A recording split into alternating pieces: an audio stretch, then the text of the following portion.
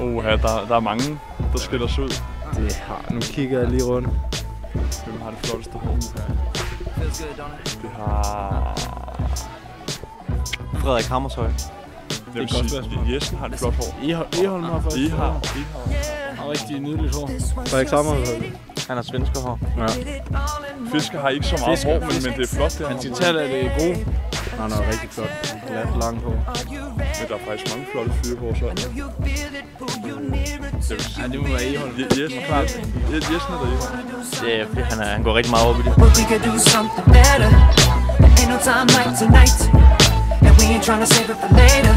Stay out here living the life. Yeah, nobody cares who we are tomorrow. Come And I got that little something I like.